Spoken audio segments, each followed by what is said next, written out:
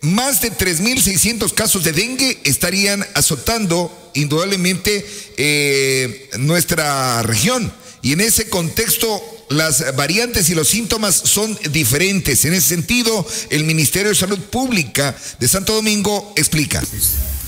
Sí, a ver, eh, el dengue clásico es el dengue que se presenta con síntomas como dolor de cabeza, dolor reticular, dolor de articulaciones, ¿sí? Nunca falta la fiebre, el malestar general. Este paciente que no se atiende de forma oportuna eh, puede evolucionar a un dengue con signos de alarma, donde ya se puede ver eh, sangrado a nivel de encías, de fosas nasales, sangrados en heces fecales, eh, sangrados microscópicos que ya se ven por orina, ¿sí? Y el dolor abdominal y los vómitos. Ya, un dengue grave es un franco shock. El paciente entra en shock hipovolémico eh, y ya se sienten comprometidos los signos vitales. ¿sí?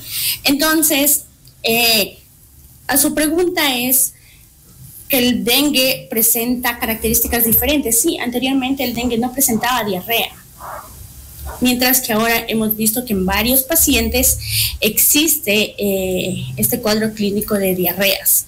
Entonces, poner énfasis, y es un cuadro clínico que cuando es un dengue sin signos de alarma, con signos de alarma, es un dengue que se puede diagnosticar de forma clínica por el cuadro que presenta el paciente. Las recomendaciones a la ciudadanía en caso de presentar estos síntomas, no todo medicarse, sino...